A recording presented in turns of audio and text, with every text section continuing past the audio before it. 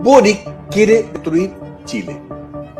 Pero como los canales de televisión, el 13, Chilevisión, Megavisión, La Tercera, no nos querían a nosotros, nos atacaron por todos lados y ahora vemos lo que está pasando en Antofagasta.